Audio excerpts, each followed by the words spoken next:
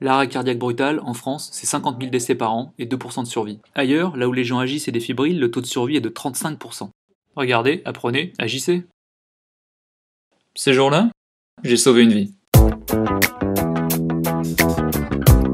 J'ai croisé un type. Costard, téléphone portable à l'oreille, attaché caisse à la main. Il a lâché son attaché caisse, il s'est arrêté, il s'est tenu la poitrine, il a grommelé un truc du genre Ah, ça me fait mal Puis il s'est écroulé devant moi comme une grosse galette. Pour voir s'il est conscient, je décide de m'approcher. Je lui demande d'ouvrir les yeux. Monsieur, faut ouvrir les yeux, monsieur, monsieur, ouvrez les yeux, ouvrez les yeux, monsieur J'essaie de voir s'il réagit en le stimulant délicatement. Aïe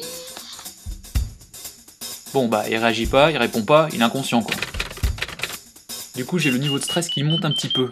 Étape d'après, savoir s'il respire. Et pour savoir, je vais coller ma joue devant sa bouche et son nez pour sentir ou entendre un souffle. En même temps, je regarde sa poitrine pour voir si elle se soulève. J'attends 10 secondes. Des fois, 10 secondes, euh, c'est long. Bon, bah, il respire pas. Et un mec inconscient et qui respire pas, bah, c'est un mec en arrêt cardiaque. Petit aparté démagogique, hémagogique, pédagogique. Habituellement, le cœur pompe le sang vers le cerveau et vers le cœur lui-même. Le problème avec l'arrêt cardiaque, c'est que le cœur est arrêté. Du coup, le sang n'arrive plus ni au cerveau ni au cœur. Et après 3 minutes de diète, le cerveau commence à s'abîmer. Après 10 minutes de diète totale, c'est le cœur qui a tellement souffert qu'il sera impossible de le faire repartir. Et pour éviter ça, 1. J'alerte les secours. Je compose le 15 pour le SAMU, le 18 pour les pompiers. C'est pareil, ils travaillent ensemble et c'est gratuit. Allô, les secours Le SAMU bonjour, vous êtes où exactement? Les pompiers bonjour, vous êtes où exactement? Eh ben, euh, Je suis sur le trottoir là, euh, devant le, le 15 de la rue Crève-Cœur. Il y a un type qui est en arrêt cardiaque là, euh, je vais commencer le massage. A tout de suite. 2. Je masse son cœur pour que le sang circule et qu'il ait une chance de survivre. Je colle mes deux mains au milieu de sa poitrine, l'une sur l'autre, je garde mes bras tendus et je masse avec le poids de mon corps au rythme de 100 par minute, soit presque deux fois par seconde. 3. Je vais chercher le défibrillateur que j'avais repéré juste à côté afin de faire repartir son cœur. Si j'en avais pas repéré un juste à côté, je serais resté en train de masser et j'aurais gueulé pour que quelqu'un m'en amène un. Quelqu'un peut m'amener un défibrillateur Bon, en l'occurrence, ce jour-là, il y en avait un.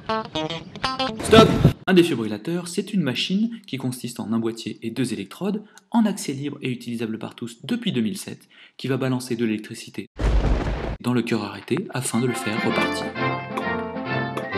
C'est le défibrillateur qui décide d'envoyer l'électricité ou pas. C'est pas vous, ni moi.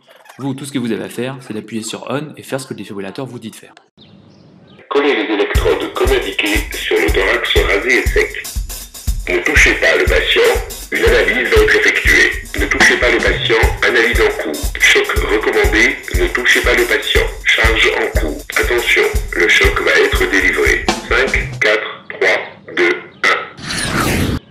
Ça va, monsieur? Oh, mais qu'est-ce qui s'est passé? Bon, je vous ai sauvé la vie, quoi. Oh, merci Bah oui, quand même.